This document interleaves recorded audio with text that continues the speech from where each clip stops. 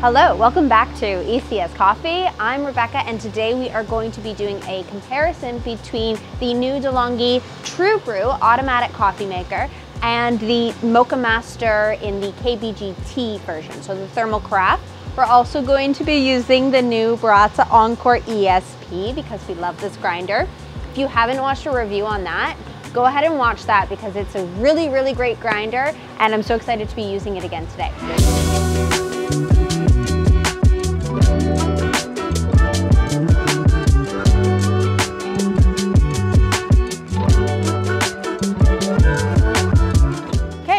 Bit about both of these machines. Um, they are kind of similar in terms of being certified by the ECBC. The Moccamaster, however, is also certified by the SCA, so that's the Specialty Coffee Association. Both machines have gone through rigorous testing to ensure that they're brewing at the right temperature, in the right amount of time, with the right amount of beans and the grind size. All of that has gone through testing to ensure that you're getting the best brew possible. But the method in which you get there is very different on each machine. With the DeLonghi True Brew, this is a one-touch automatic coffee machine. It's going to grind and brew your coffee at the press of a button. It also offers you a espresso-like style beverage option. So that's going to brew at about four to five bars of pressure. You get a little bit of a, a crema on there. Um, so that's something that the True Brew will do that the Moccamaster does not have the capability to do. Moccamaster is your standard drip style carafe with a separate grinder. So no integrated grinder on the Moccamaster, which is why we've paired it with the uh, Encore ESP today. The, both uh, machines will do a full carafe of 40 ounces, so you're not gonna be able to make that 60 ounce carafe with either machine. And with both units, you could get like a travel mug size, or you could get a single cup serving as well. Uh, for the Moccamaster, that would just mean putting in less coffee grinds and less water into the reservoir. It'll brew whatever you put in. And then with the DeLonghi True Brew, it's a one touch. So it's just laid out right here for you. You've got three ounces, eight ounces, 12 ounces, 16 ounces, 24 ounces, and then the full 40 ounce carafe. Now there is another version of this unit that doesn't have the carafe option, so it would just go up to that travel mug size of 24 ounces. On the Moccamaster, you have two, four, six, eight, and 10 cup serving sizes. Now those are four ounce servings, so maxes out at 40 ounces. Um, both machines will brew the full pot or should be brewing the full pot in around the six minute mark. So we're going to brew a full pot on each machine with the same beans. We're using the 1.21 Ethiopian. Let me see if I've got it here. I do. Delicious, it's our favorite. It is one of our staff picks as well. Um, really, really nice tasting notes on that one and super fresh. So for the uh, True Brew, all I have to do is press the 40 ounce carafe size. For the Moccamaster, I am going to have to grab my paper filter, rinse my paper filter, grind my coffee, ensure that I have the right amount of grinds by weighing, and then press brew. So I'm going to do all of that stuff for the Moccamaster before we brew because I would like to brew at the same time to see if one brews quicker than the other because um, I haven't timed the True Brew in terms of how long it takes to grind. So let's get started. First things first, I'm going to grind my coffee for my Moccamaster. I have my grind setting set at approximately 22-ish, maybe closer to the 20 four mark, um, which is a, a, good medium fine grind for the Moccamaster. Even though Moccamaster recommends using a medium coarse grind, through trial and error, we have found that a medium fine grind works way better with the Moccamaster. The style of the cone and the method of brewing with the shower head, you just get a more even extraction that way in our experience.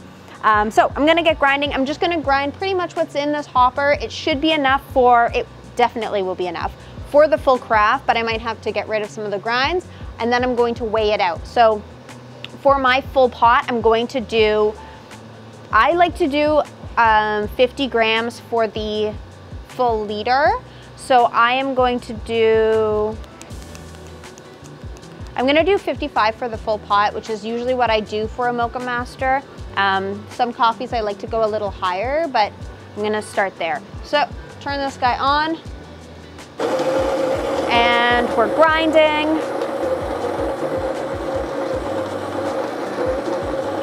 So on the True Brew, wouldn't have to deal with this. You'd be able to press the button, walk away, and have your pot of coffee made for you. Or have it timed so that it turns on in the morning and it's just ready to go. You wake up to freshly made coffee.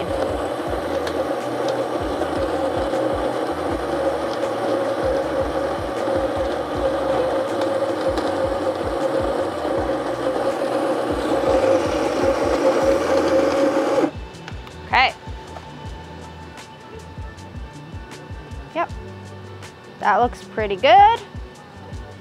Mmm, this smells really good too. All right, I'm gonna go weigh this out. So I gotta go grab a water filter. I gotta rinse my water filter because I don't, or sorry, paper filter. I have to grab my paper filter, rinse my paper filter because I do not want any paper tasting notes in my coffee. Not a fan of those. Um, and then stick it together, weigh it, all that good stuff. All right, and we're back. So we have rinsed our filter, weighed out our medium fine grind coffee, and the Moccamaster is ready to brew. So over to the True Brew here, I'm going to select my size. Oh,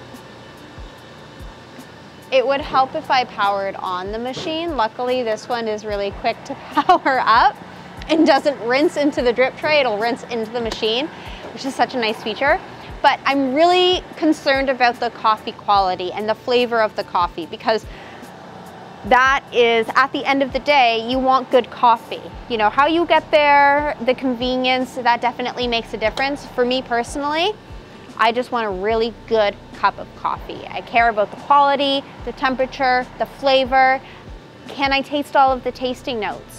Um, so we're gonna, we're gonna see that. I know on the Moccamaster, I know what I'm going to get, but I wanna see in a comparison how they perform against each other. So now we're powered up. I'm going to click my size and I'm going to click all the way over to my 40 ounce carafe. On my type, that is the style of coffee that we're brewing. So you have three options, light, gold, and bold for your hot coffee. I'm going to go to gold, which is the gold cup standard for brewing, which is how the Moccamaster brews. Pause. When we were cycling through types, we went over the bypass option, which defaulted us back to 16 ounces because that's the max amount that you can do through the bypass. We didn't notice because that's a terrible design and why would it do that? But it did. But we'll figure it out in a minute. So just sit tight. And now I can click brew. On the count of three, I'm going to click my True Brew and I'm going to click my Moccamaster. On the True Brew, you hit brew. On the Moccamaster, there's just, it. you have one setting, on or off. That's it, it's just one button. So on the count of three, okay, one, two, three. There we go. So brewing should take approximately six minutes on the Moccamaster. Um, the True Brew should be approximately the same time as well. It looks like it's already ground. Why did it switch to 16 ounces? So both of our pots of coffee have finished now. The Moccamaster finished um, a little bit before our True Brew here because when we were doing our brewing on the True Brew, I selected my size first and then went through to select the gold standard or um, the gold strength for my brewing. And it reverted it back to the 16 ounces because I cycled through uh, over ice and the scoop you're not able to do an over ice option um, or I think even a scoop option on your carafe. So it reverted it to a different size. I didn't realize and it only brewed my 16 ounce. So then we had to go back, reset everything, go to my gold cup and then go to my carafe size and then brew it. So we started it a little bit late because it had to finish that 16 ounce brewing cycle. So the True Brew is now done. My Moccamaster is complete and I'm going to taste the coffees and see how different it is because remember the True Brew, you can't select your grind size. It grinds for what you are making. So on our pot, um, it ground and brew three times, totaling 40 ounces, and I wasn't able to select my grind size. So I'm curious to see, one, I wanna see what the grind size kind of looks like in the pucks in the back there, the used grounds, um, because we obviously always use medium fine on the Moccamaster, like I said before. So let's pour some coffee. I'll do my True Brew first, so it's a good thing my Moccamaster has a stainless steel carafe. Both of them are stainless steel, nice and insulated. Um, some of the Moccamasters as well have a little bit of an updated carafe than the one we're using today with a, a different spout. So ours has the old 360 pour spout. The newer ones have a more traditional spout like this True Brew here with a designated spout for the coffee. A little bit more control with those guys. So you'll be seeing those ones online instead. It's definitely hot. I can smell the floral notes and the fruity notes already from the Ethiopian, which is great. Smells really nice actually. And my Moccamaster. I'm trying to be as unbiased as I can because I'm a big Moccamaster fan. Oh. Okay, so let's give them a sniff. So this one is the True Brew. It's like the, you can really smell the nuances in there, which I'm, I'm impressed with. Okay.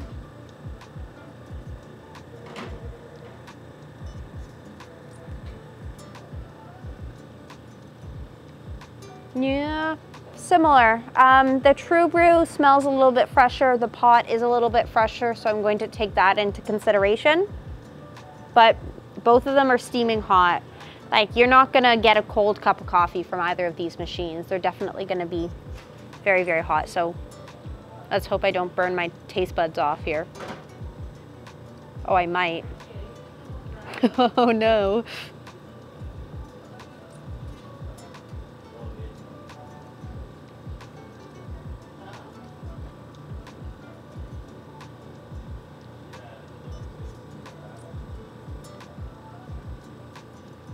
Mm. It loses the nuances when you taste it. It's not a, it's not bad. It's a good cup of coffee, but it doesn't taste as fruity and as floral as it smells, which I really like in an Ethiopian, which is one of the reasons it's one of my favorite drip style coffees as well. Um, now my Moccamaster.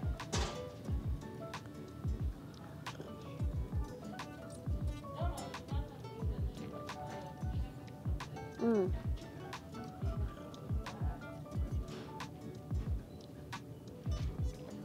It's good. Um, more fruity and floral notes come through on the Moccamaster than on the True Brew, but both are good cups of coffee.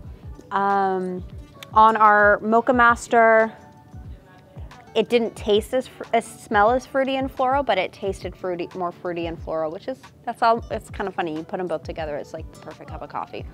So the Moccamaster took approximately uh, just over five minutes to brew, and this guy took what was it, Jack? 640? Six minutes, 45 seconds. So the Moccamaster was definitely faster. And you think that's because the uh, True Brew is grinding. So in between each brew cycle that it did, which was three, it ground a dose of coffee. Uh, speaking of, let's check and see what the grind size looks like in there. Want to see if we're at like a medium fine, medium coarse, medium, like where are we hovering around? Because they don't really tell you in the manual. So, oh, that's like a perfect little puck there. Wow, I'm, that's kind of funny. Usually they're kind of falling apart with the True Brew because it's a coarser grind than espresso. But yeah, looks like a little, looks like a two bite brownie. Oh, jeez, okay. Uh, it's definitely like a traditional medium sized grind not a medium fine like we would have had with the Moccamaster. So, but a medium grind is very traditional too when um, using a drip style brewer. So that's what I was hoping and what I was expecting to find. So that's great. All right, let me push that back in. So overall, both machines are going to give you a fantastic um, flavor coffee. It's going to brew quickly. It's going to uh, be very, very hot and it's also going to taste well-rounded. So both coffee brewers provided me with that softness that I want from an SCA or ECBC certified brewer because it does fall soft on your tongue as opposed to something that is maybe a little bit cheaper, doesn't go through the testing. Um, it can taste harsh and sharp on your tongue. These ones just both felt very soft, which was really nice. Uh, the Moccamaster, I did taste more of the nuances. Um, that's probably due to the style of brewing as well. This one has a shower head and the DeLonghi True Brew has a brew, brewing unit. So it infuses the coffee, but it's not pouring it over like a pour over brewer, which is, is how you get some of those really great nuances. It lets the coffee bloom. Uh, with this guy, you are getting a bit of a pre-infusion, but it's in a packed puck. So there's probably less saturation going on there. You're probably, um, it's just a different method and style of brewing. However, the Moccamaster required more steps. I had to rinse my filter. I had to uh, grind my coffee beans. I had to weigh out my coffee beans. The True Brew will just do that all for you. It's going to grind you the right amount of coffee, it's going to brew it, and it's going to dispense the pucks in behind the machine. So it's a lot easier to use in terms of that. Now I did have that little mess up there with the brewing the 16 ounces. To get around that with this machine, just make sure that you select your type of brew before you select your size of brew. So just a little something to get used to there. Um, I'm trying to remain unbiased because I do love the Moccamaster, but the Moccamaster did give me the style of coffee that I was hoping to get from the True Brew.